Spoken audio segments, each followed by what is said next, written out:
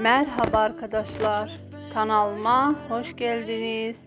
Kanalımı beğenmeyi ve abone olmayı unutmayın. Bambaşka Biri dizisinin yeni bölümünde neler olacak?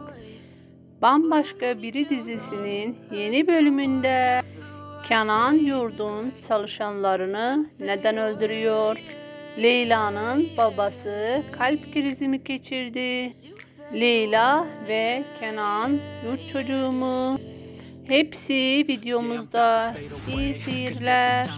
Kenan yurdun çalışanlarını öldürüyor. Çünkü çocukluk aşkının intikamını alıyor. Leyla resmi babasına gösterdiği için babası kalp krizi geçirdi. Leyla ve Kenan yurt çocuğu. Ancak şimdilik öğrenmeyeceklerdir. İlki bölümlerde öğreneceklerdir.